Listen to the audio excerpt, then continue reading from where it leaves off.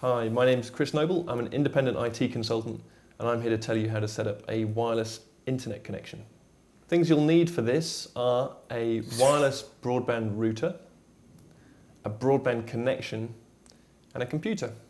The next step is to plug the wireless broadband router into your wireless broadband connection, which if you're using ADSL will be like a phone jack connection, or if you're using cable will be a cable modem connection.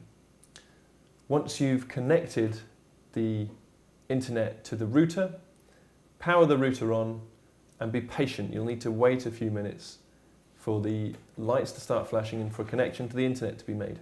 The next step is to configure the wireless network. And to do that, you'll need to access the wireless router's login page, which is typically at 192.168.1.1. If you type that into Internet Explorer or Firefox, it should take you to the login page of the router. Now, not all routers are the same. You may find that your IP address for your router is very different. So read the instructions that came with the box to get the IP address and the login for your router. Once you've gained access to the wireless router, there are three things that you need to set up. The first is the SSID, or the network name that you're going to be calling your network. If your last name is Jones, you could call your network Jones, for example. Then people that come to your house will know which network to connect to.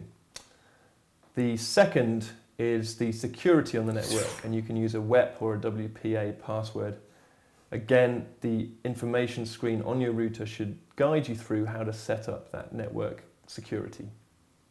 And lastly, it's best to change the security of your router. Many people leave their login details for their router as the default. The last step is to disconnect your computer from the wireless router and to then search for wireless networks and the wireless network with the name or the SSID that you set up before should now be viewable.